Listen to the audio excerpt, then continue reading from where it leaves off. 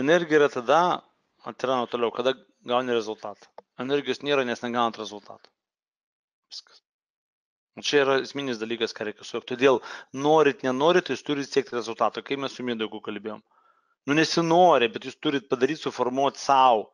Tas, sakykime, emocinė priklausomybė nuo kaifo, nuo gyvenimo, nuo džiaugsmo, nuo santykių. Suformuoti ir jūs sakot, wow, kaip tu taip lengvai gaunasi. Man nelengvai gaunasi, sunkiai, bet man tai netima tiek energijų kaip kitiems, kurie nesuformavo savo tokio dalyko.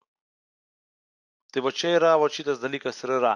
Pirmoji stadijoje, tai mes turim lūkesčius, svajonės, vizijos. Tai yra mes tikimės, tikime, kad bus taip, kaip mes norim. Tai įsivaizduojame tą rezultatą. Ir mes ant tos energijos einam. Wow, čia pastatysiu, sukursiu, čia dirbsiu, užsidirbsiu, susipažinsiu. Ir mes, wow, wow paskui realybę ateinam ir mes padarom kažkiek 20-30 procentų, bet ne 100. Ir mums jau, a, tai kažkaip ne taip, aš galvoju, bus fainiau. Bet čia reikia daryti iki galo. Tai yra, tugi gavai energijos, tu nieko nepadarėjai. Aš tai žiūriu iš Dievo pozicijos. Sako, vaikė mano, tu nori, duodu tau energijos. Imk.